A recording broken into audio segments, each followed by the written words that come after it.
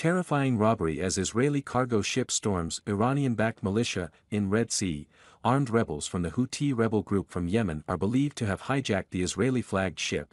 Armed hijackers reportedly stormed an Israeli-flagged cargo ship in the Red Sea and took the crew hostage. Members of the Houthi rebel group based in Yemen are believed to have taken control of the Galaxy Leader with 22 sailors on board.